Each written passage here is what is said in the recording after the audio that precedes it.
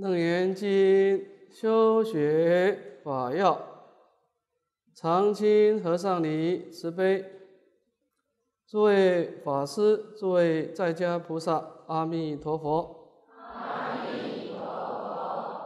请大家打开讲义第二十三面，起恶劝修。那么，我们身为一个净土中的修学者，当我们开始在佛堂当中啊，忆佛念佛的时候啊，也就是说，当我们的明了的心啊，跟阿弥陀佛的身后一接触的时候啊，在我们的生命当中会产生两种强大的力量，一个是我们内在一个心灵的力量。啊，我们那种皈依的心。其次呢，一个外在的弥陀四十八愿的这种强大的加持力，就是心力跟佛力的结合。那么，当这两种力量在交互作用的时候，我们称为感应道交。那么，感应道交从两方面来说啊，当我们平常在感应的时候啊，对我们来说是。消我们的业障，增长我们的福报。但临终的时候感应道交啊，就使令我们带业往生，求生净土。所以我们可以这样讲：净土中的修学者，他整个生命的目标就是追求一件事情，就是感应道交。想尽任何办法跟弥陀的本愿能够心心相印，感应道交。你就成功了。那么感应道交到底是一个什么样的相貌啊？古德说是啊，千江有水千江月，月亮是高高的挂在空中，充满了广大的光明。那我们没有光明呢？我们希望把佛的光明转成我们自己的光明，怎么办呢？千江有水，你把这个脸盆准备好了，这个月亮的光明就映上。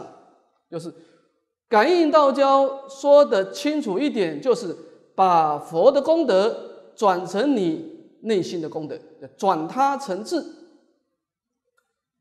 那么站在一个转他成智的角度，就知道一件事情啊，就是佛菩萨对我们的加持力啊，佛陀永远。居在被动的角度，所以我们修净土中人要知道一个真相：佛陀不能主动的就把我们不可以。月亮有无量的光明，但是它不能主动的照耀我们。我们必须把水准备好了，它才能够成就感应。所以我们的心灵力量永远是基于主动的地位。这就是印光大师为什么说。我们今天在念佛的时候，你释放出一份的力量，佛陀给你一分的感应；你释放是三分的力量，佛陀给你三分的感应；你是十分的力量，给你十分的感应。所以这当中就知道了一件事情啊，你念佛啊，问题不是你念的数目多少，而是你在意念佛陀那个明了的心跟佛号接触的时候，你产生多大的力量。就是产生多大的回忆，所以如何加强我们心灵的力量，变成是非常重要一件事情。那么，当然，我们内心的力量，从本经来说是两种差别：一种是从真实的心所发出的力量，一种是从希望的心所发出的力量。什么叫真实的心呢？它的内涵叫做离一切相，即一切法。一个人进入真如三昧的时候，他心中是没有相状的。古人说是人所双亡，诸相颇得，没有对立，没有相状。他也不是杂染相，但是他可也不是清净相，啊，只好说呢，离一切相。或者说清净本然周遍法界，禅宗说的本来无一物，何处惹尘埃？它没有相状。它虽然没有相状，它可以是集一切法，它记住无量无边的布施、持戒、忍辱、精进、禅定、智慧这种功德之法，它有那种强大的能量，所以它随时可以现出杂染相，它也显出清净相，所谓的普门示现。所以，一个人把心带回家以后，他本身没有相状，但是他随缘可以显现任何相状。那么，这种力量是特别强大的啊！但是不幸的是啊，我们现在不是安住在真实的力量哈，我们现在凡夫是什么力量？是一种虚妄的力量。什么叫虚妄的力量呢？就是我们内内心跟外境接触的时候啊。我们内心有五种相貌会出现，啊，过去的业力啊，有这个色、受、想、行、识这五种相貌在心中同时显现出来。我们每跟每一个人跟任何的事情接触的时候啊，有一个色尘的相貌，这个色尘包括色身香味触法六尘，不报大的显现安乐美妙的色尘，不报差的显现的是一种苦恼的卑贱的色尘。那接下来是感受快乐痛苦的感受，第三个是想象。那么这个都没有错，因为我们的心跟外境接触的时候，这个叫做行业发现呢。我们的心只是如实的把我们过去的善恶业力把它显现出来，如此而已。那过去造的业，今生表现出来，呃，自作自受。那么这问题出在哪里呢？出在我们跟我们的色尘接触的时候，跟我们的感觉接触的时候，跟我们心中想象接触的时候，我们的心呢就住在上面，这个就糟糕了。整个因缘呐，一念方动乌云遮啊，风云变色啊，我们强大的真实力量就全部消失了。因为什么？因为我们住在我们的感觉，我们住在我们的想象。啊，我再讲一次哈，感觉有没有错？没有错。我们打很多妄想也没有错，也没有错。阿赖也是如此显现出来你有这个种子，遇到外缘显现出现形。但是问题是我们住在上面的时候，这个地方就叫颠倒了。我们错误的开始就是，当我们的心把我们的无印现出来的时候。为事所现没有错，但是为事所住，这个地方就产生很多很多生死的问题出来了。那么在经典上说啊，我们心中住在我们的感觉，住在我们的想象，有两种过失。第一个，我们力量变成很狭隘，我们住在某一种相状，就好像说。我们去追求一个水泡，结果我们失去广大的大海。这就是为什么我们去念大悲咒，我们的感应是如此的小。观世音菩萨念大悲咒产生这么大的力量，同样是法力不可思议。为什么不同的心去刺激这个去接触大悲咒的时候，效果是不同的呢？因为我们心心有千千结。我们住在很多的向上，结果我们强大的力量都死掉了。所以祖师告诉我们：把心带回家，啊，见相离相，啊，这是第一个。我们住在相状呢，使令我们心灵变成非常的狭小。所以一个人对相越执着人，他的胸量肯定越小，他今生的成就。也就越小，不管你做多少多少定课，因为你做功课是心力嘛。第二个，你经常喜欢住在你心中的感觉跟妄想，你的心变成非常脆弱。为什么呢？因为感觉跟妄想是不断变化的，所以你经常会觉得心不安，弟子心不安呐。你看我们很多念佛人，你问他说你有没有把握往生？没有几个讲得出来。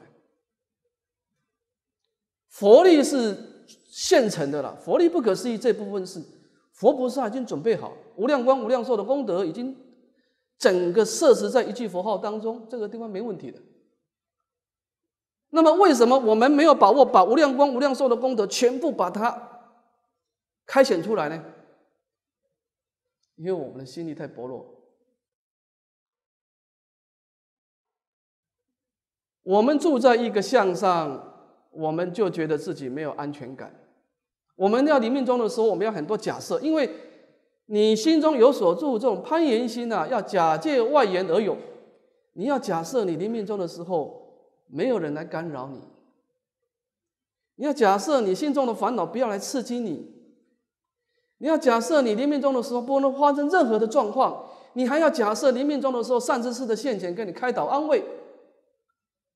所以，我们一般人用生灭的攀岩心来念佛，你要达到了临终正念，你要有很多很多条件的记住，而每一个条件你都没有把握。所以你在念佛的时候，你完全不是超之在我。所以我们修了《守楞严经》三昧以后，我们会告诉我们自己的临终的正念是我自己做主的，因为你开始学着勉强自己去离开自己的感觉，去离开自己的妄想，把心带回家。你慢慢知道，原来你真实的力量是可以。不以一切万法为伴侣的这个事情是做得到的，就像祖师说的，不管外面的房子啊，外房子外面呢，不管风吹雨打，你房子里面呢是安然无恙的。所以修守楞严三昧最大的特点就是，你可以成就平时的自在、平时的正念，你也可以得到临终的自在正念。因为很多外在环境你没办法没办法决定的，但是你可以决定你要不要住在上面啊。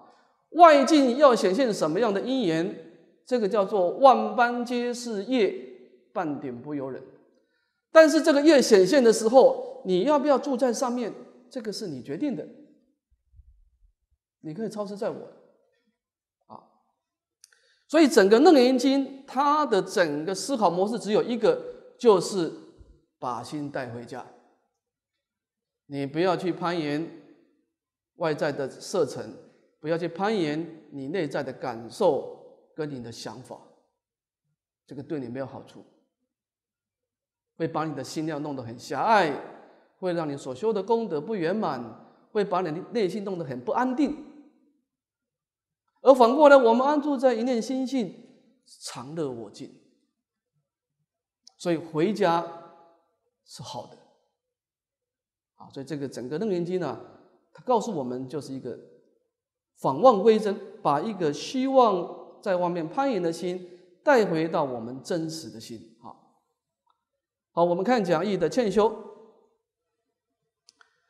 那么这段经文等于是佛陀在前面七处破妄十番显见。乃至讲到二劫定义的第一决定发菩提心以后啊，佛陀先做一个啊总结的劝修。好，好，我们这个地方有两段，第一个是结释法义，第二个是以喻合法。我们先看第一小段，请合掌。阿难，如今欲令见闻觉知远弃如来常乐我净，应当先择死生根本。一不生灭，缘暂性成，以暂旋其虚妄灭生，复还缘觉，得圆明觉无生灭性为因地心，然后圆成果地修正。好的，那么这个地方讲到我们整个返望归真的过程有两个次第，第一个一种选择，你要知道鉴别去选择。啊，鉴别希望，那么选择安住真如啊，要做一个真望的鉴别跟选择。佛陀说：“阿难，你现在想要依止你一个凡夫的见闻觉知，啊，当然见闻则是这没有什么错了哈。那么我们修行当然要靠见闻觉知啊，你要看见啊见气言佛像，要看这个闻啊闻的功能去听音声啊听那个梵呗听佛的说法啊，乃至于第六意识的了知。那么我们依止见闻嗅尝觉知来修学一切的法门呢？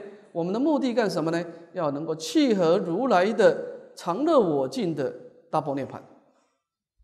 也就是说，当你学佛的目的不是只是追求人天的生灭果报，而是追求一种圆满的佛果菩提，那怎么办呢？你要先鉴别，这个鉴别就是有那个远离的意思，你要远离生死的根本。就是什么叫生死的根本呢？就是攀缘心，心有所住。那么你要依止不生灭心啊，才能够圆满啊，一生不生灭的圆满湛然的这种心性才能够成就。所以第一个你要先依止不生灭心啊，这第一点。第二点呢，那么当我们把心带回家以后，做什么事呢？以战玄奇希望灭生。这个暂就是暂然不动啊，啊，依止这个暂然不生灭的一个心性呢，来旋转。这个关键在这个“旋”字。当我们把心带回家的时候，不是大事已办的，妄想它也不断的干扰你啊。所以开始怎么样呢？调伏。前面是讲安住真如，这个叫调伏妄想。那么《楞严经》讲调伏，讲旋转啊，就是这个旋转就是。旋转这个转世层次啊，把这个妄想啊，把它转成真如，使令这个生灭希望的心呢不再升起，那么恢复我们本有的清净觉性，才能够成就啊本来光明、本来觉悟的不生灭心，来当做我们因地的发心，然后才能够延成不生灭的果地的功德。那么古德在解释这段的时候呢，他提出两个。字的重点，第一个一，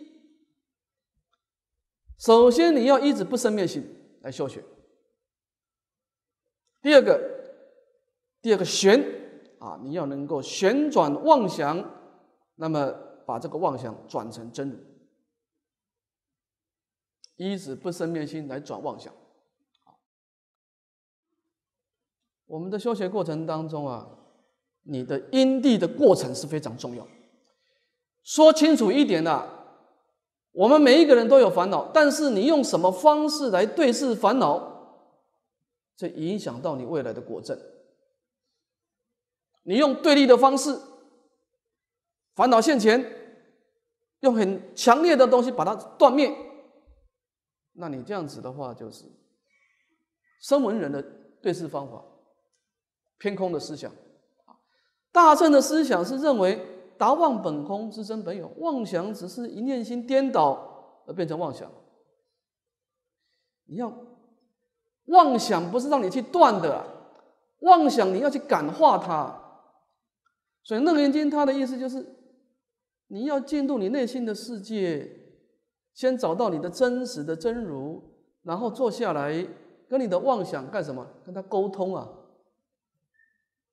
我希望大家能够了解这个转世成智啊，这个转呐，而不是断。大乘佛法的妄想啊，这个烦恼是用沟通的方式来转变它，因为它的本性是清净的，它只是一念的妄动，产生一种虚妄的假象而已。就像这个水泡，水泡你把它转成就变成水了嘛。就变成私信了嘛？好，所以这个地方要清楚哈。你面对烦恼的方式是用什么样的态度，会影响到你未来的种性。所以古德说啊，生人在断烦恼的时候啊，错损菩提。他用很激烈的方式来消灭烦恼，结果他菩提心也发不起来，因为烦恼的性就是真如的性，错损菩提吗？所以那个阿罗汉弄到最后没感觉的，阿罗汉修到最后是享受灭无为，没有感觉，没有想法，那这个人就完了吗？这不是一个有情众生。所以唯识学上说啊，严格来说，阿罗汉住的灭尽定呢，已经不是一个有情众生了，这是有情修成无情，那就跟一个石头差不多了。但是我们看佛陀成佛以后，他是无量的大悲啊，夜印千江，百界作佛，到十方世界去做种种的示现。因为佛陀在断烦恼的时候，没有伤害到他那个明了那个觉性。我要提醒大家一件事情：你在断烦恼的时候，你千万不要造成后遗症。我们有病，我们应该吃药。但这个药把病治好以后啊，不能伤到你身体的元气啊，所以你的善巧就变得很重要了。断烦恼，每一个人都会，问题是你用什么方式？我希望我们一个大乘的佛弟子眼光放远一点哈，你只不是只是断烦恼，你的目的要成佛。所以你在断烦恼的时候，你要保存他的觉性。那这怎么办呢？这个方法，我们现在讲这个方法是最圆满的断烦恼方法，速度快，没有后遗症啊。第一个，你先把心带回家，遇到烦恼的时候啊，我们讲过哈，遇到烦恼活动的时候，他发脾气的时候，贪烦恼在干扰你的时候，不是提佛号，先安住一念心性，你告诉你自己，本来没有烦恼，那只是一个因缘的假象在动。那么安住一念信心的时候，再提佛号，然后再用直观的方式跟烦恼沟通，说这个是虚妄的，那只是过去一念的妄动啊，这是种过失相。你不断的用佛法来跟他沟通，这个妄想自然消灭掉，因为它不真实嘛。好，所以当这样，我们一个断烦恼以后，我们叫做什么？佛法说恢复本来面目。恢复你原来的觉性，啊，是这个意思。那么这整个过程呢，当然安住调伏这个地方，佛陀以下讲出一个譬喻，啊，一个生活上的譬喻，容易了解哈。我们先看经文：如沉浊水，除于静气，静身不动，沙土自成，清水现前。名为出伏克成烦恼，去泥存水，名为永断根本无明，名相精纯，一切变现，不为烦恼，皆合涅盘清净妙德。好的，那么这个地方总共是有两段啊，先讲一个譬喻，如沉浊水，除以净气。这个沉当动词，好，我们想要去澄清一个污浊的水。这个地方的意思就是说，我们的心本来清净，这个水本来没有任何相状，但是无缘无故的，不晓是谁啊，把它丢了一把泥土进去了，那么这个水就开始污浊了，就变成清净的水跟泥巴就混在一起了。这当中呢？有清净的水，有泥巴，两个同时存在。但是我们对泥巴啊开始厌厌离，我们希望把心带回家，我们希望安住清净的水，那怎么办呢？除一净气，你把这个水啊不要去动它啊，不明不取不动啊，你把它放在一个极静不动的器皿上。那么放久了以后呢，静身不动，沙土自成，清水现前。那么你让它这个沉静的力量慢慢慢慢的生成啊，让它慢慢的不动啊，时间久了，这个尘土啊，它自然的沉淀下来，那么清净的水啊，自然就显现出来了。这个叫做调伏课程烦恼。啊，所以这个佛陀是讲这个方式哈，对这个妄想啊，是用沉淀的方式，让它自己沉淀，你不要去断它的，因为它没有实体的。让它沉淀下来。好，看第二段，去泥存水，名为永断根本无明。初学者不是断烦恼，什么时候断烦恼呢？等到你有禅定的时候，在资粮位的菩萨闻思的时候，调伏烦恼，他不断烦恼，他只是要求你不随妄转让它沉淀下。你不要再住在上面，好，让它沉淀下来。那么等到了什么时候开始断烦恼呢？加行位菩萨，就它产生修慧有禅定的时候，他开始用禅定，再加上我空法空的智慧啊，然后把这个烦恼的种子啊给它消灭掉，这个把这个泥巴就全部拿掉，只剩下一个清净的水，这叫永断根本无明。这个时候已经是破无明正法身啊，破一分的无明，正一分的法身。那么这个是一个因地的修学。那么破无明正法身，开显真如，开显先前一念心性，有什么样好处呢？这一下讲出两个好处。第一个，名相精纯。这一段是一些自受用来说了。菩萨把心带回家，那么远离妄想啊，这个地方已经是破除妄想，破除妄想，开显真心的时候啊，那精纯光明的心性呢？就完全的现前，在自受用呢，所有常乐我净，啊，常住安乐我这个地方，我是自在，那么清净常乐我净。那么从他受用的角度呢，一切变现不为烦恼，皆合涅盘清净妙德。菩萨在安住一念心性的时候，是离一切相的，只有常乐我净的功德，四种功德陪伴的这个佛菩萨的内心。但是佛菩萨的大悲愿力回到人世间的时候啊，一切变现，普门示现，他现出庄严的比丘、比丘尼相，他有时候现出杂染的那个生死凡夫苦恼的相状。那么他不管现出什么相状，已经不再受烦恼的干扰。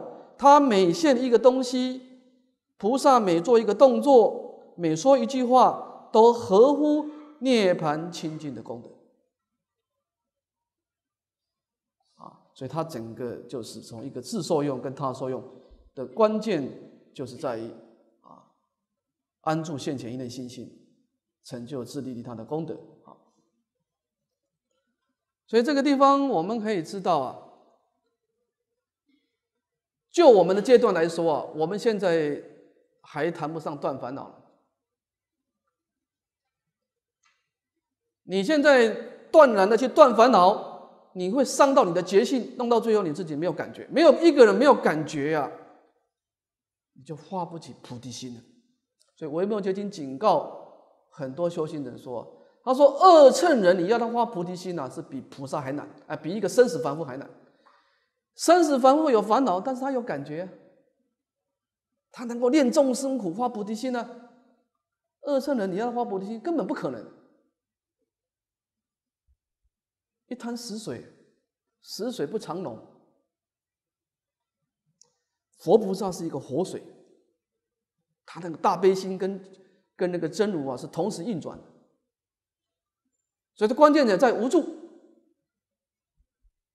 你不要去住在你过去的妄想当中，坐在你的感觉当中。好，那么关于这一点，我们看这个今天的附表第五，哈。那么整个前面我们说的整个啊去除破妄十方显见的思想，无非就是整部楞严经就是正念真如啊。那么正念真如这两个字啊，有两层意思。从因地上来说，它是关照，关照我们这念心本质清净，本质具足。那么在果地上呢，就是有顺从意思。开始顺从真如，不随妄转。好，那么这个地方，在藕益大师的《大圣起心论列往书》啊，他把这个正念真如啊，他用这个信心，这个信就是随顺啊。我们这当中有六个次第啊，先看第一个礼记信心啊，我们先把它念一遍啊。虽复不信，自心大乘妙理。起或造业，而信心之性未曾稍减，如水成冰，失信不改。好的，那么《礼记》是信心呢，就是一个标准的生死凡夫。什么叫《礼记》呢？就是说，这个人在离体上是一个真如，但是你看他表现出来的作用啊，是完全跟生死凡夫是一模一样，是心有所住，弄到自己啊，心有千千结，在临命终的时候很痛苦啊。那么这个就是理记信心，只有离体上称得上是信心。我们看它的内涵，说这个人呢，他从来就不相信，也不随顺自己本具的真如本性。那么他相信谁呢？他相信他自己的感觉，他相信他自己的妄想。那么再跟着感觉、跟着妄想走啊，结果是起祸造业。那么当然这样子来说呢，他就在三界里面呢，一次一次的得果报啊。如果他的感觉是比较美好的，妄想是比较美好的，到天上去；他的感觉妄想是邪恶丑陋的，就到三恶道去。啊，那么这样子不断的在三界打滚啊，但是这个地方有一段值得我们庆幸的，就是。而信心之性未曾稍减。我们过去打了很多的烦恼，造了很多的业，但是我们这念心呢，是从来没有受到染污啊。这个本性呢，并没有因为这样子而稍减。比方说，如水成冰呢，私性不改。这个水啊，因为我们内心有所住，有所执取，就变成冰了。你看水本来是没有形状啊，水有什么形状呢？你用成一个圆形的杯子，它就变圆形了；你用方形的杯子来装水，它就变方形了。它本身没有形状，它随时可以现任何形状。但是冰就不死了，冰它有固定的形状。所以你看那个执着心很重的人讲话，你一听他讲话就知道这个人的种性了。个性刚强，啊一个人修手内王三昧，他的特色啊，就是调柔善顺，柔软。他心是柔软的，一个人跟智慧慈悲相应的心是柔软啊。那么柔软叫做水，那么刚强就是冰呢。但是即便他变成的冰，但是他的私性没有改变，也就是说，他随时可以恢复他的本来面目，随时。因为他事情没有，没有因为他变成病的改变吗？啊，那么当然这个地方就告诉我们，我们还是有希望啊。虽然打很多烦恼，信心之性没有改变。看第二段，明智信心，这以下就开始是修行人了啊。二三四五六，我们看明智信心这段，人知现前戒尔心性，即是大正，直下承当，不复疑惑。如知冰及水，那么这一个生死颠倒凡夫呢？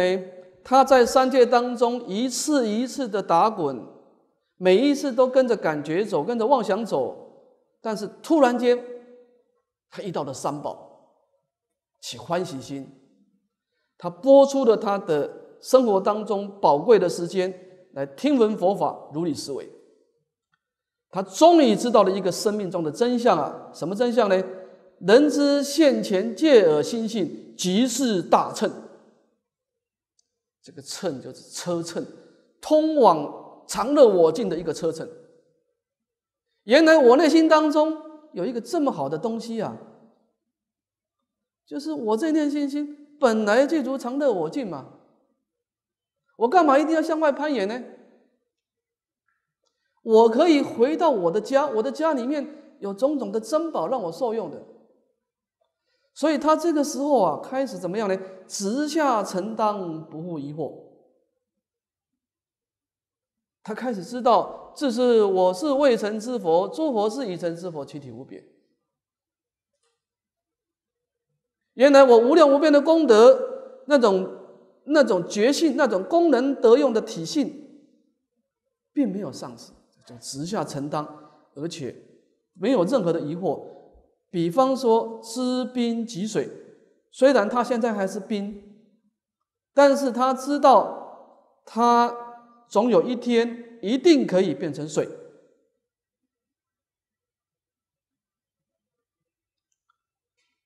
我们看这个菩萨戒啊，你会发觉一件事情：受了菩萨戒啊，其实你受菩萨戒。不是只有菩提心而已啊！你要知道，严格来说，菩提心它是有空正见的基础。菩萨是要有智慧的，不是只是一一股脑的热忱，不是这样。你要有智慧来做基础的。一个人对于你的心性直下承担啊，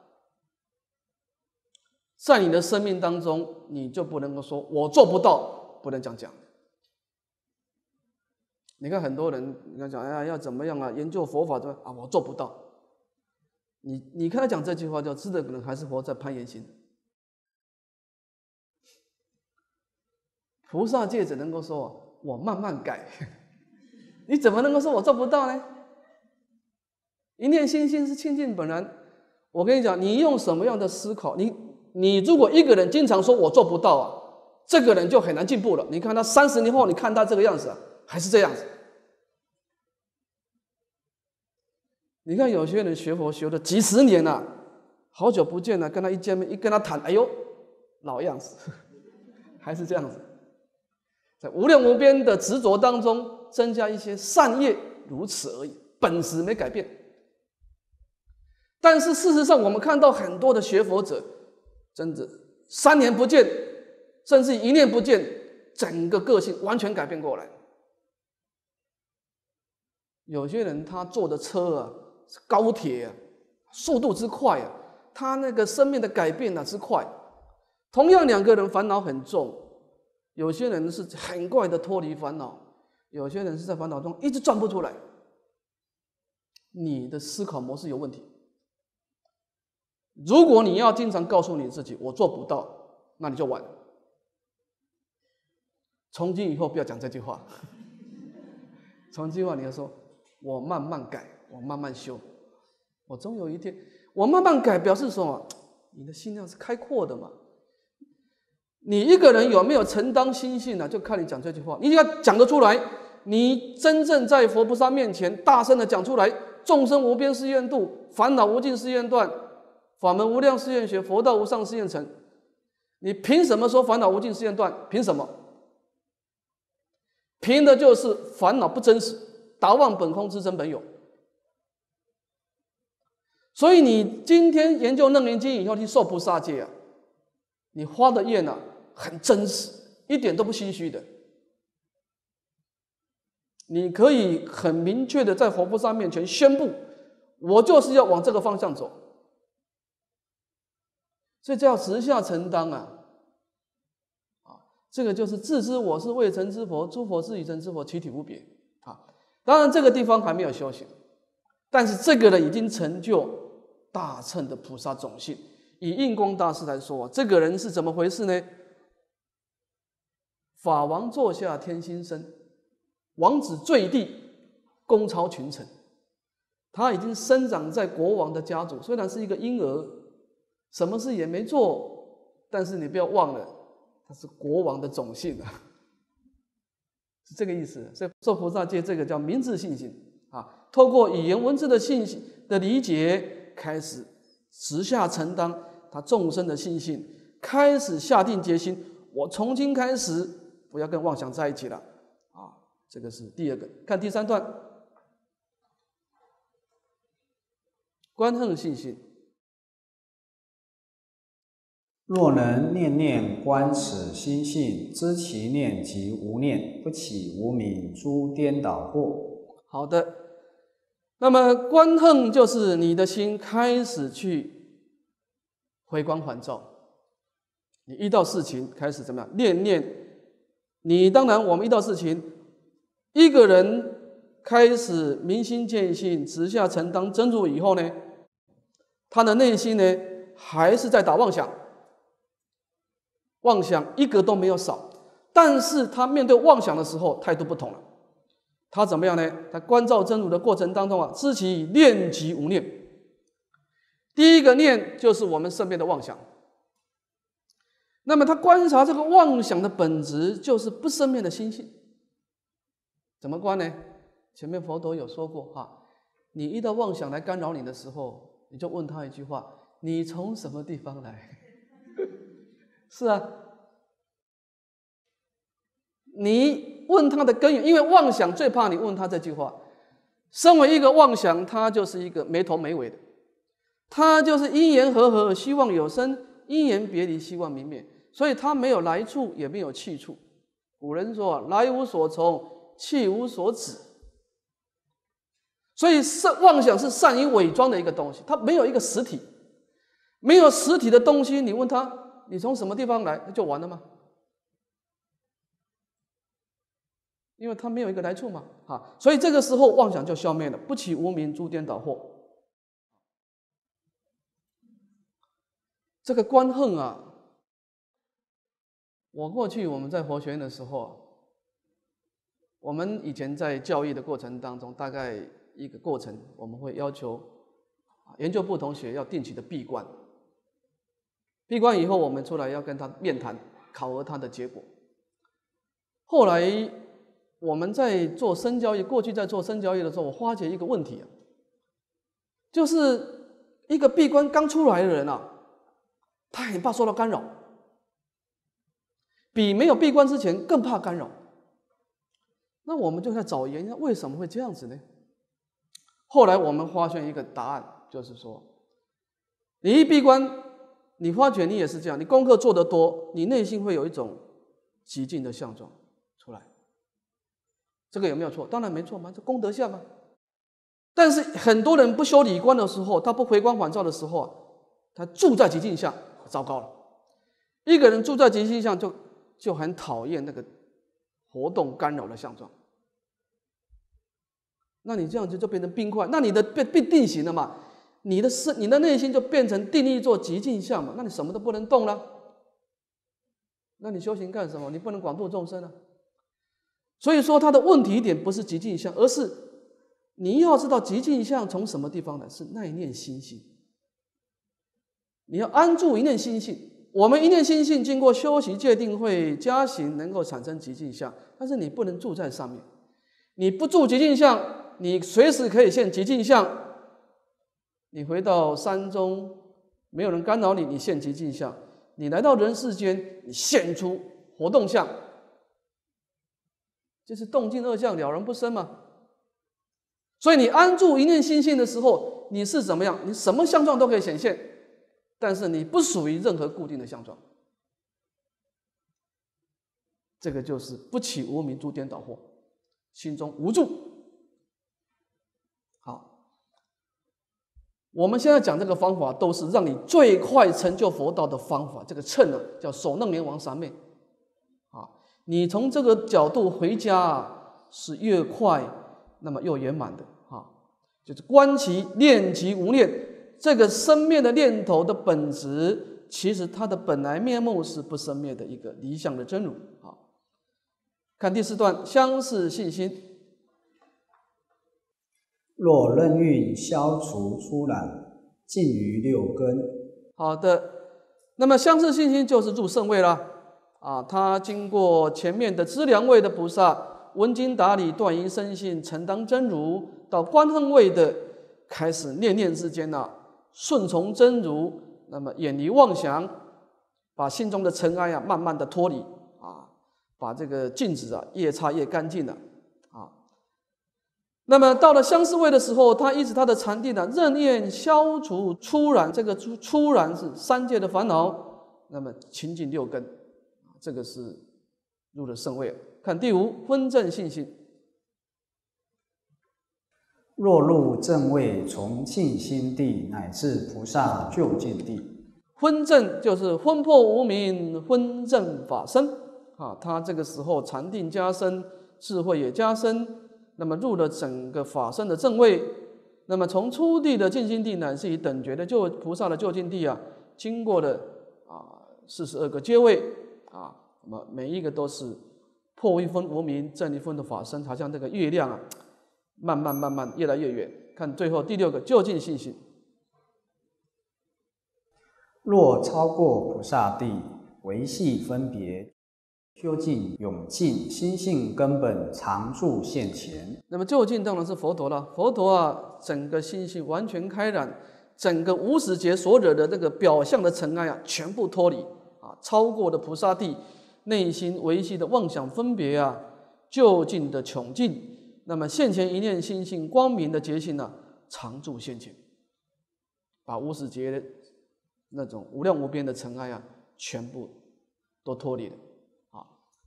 那么从一个净土中的角度，你能够达到第三个阶位，心常觉照，不随妄转，你的临终就有把握了。我们不是断烦恼，而是要你观其念其无无念，不随妄转，啊，这是关键。好，我们休息十五分钟。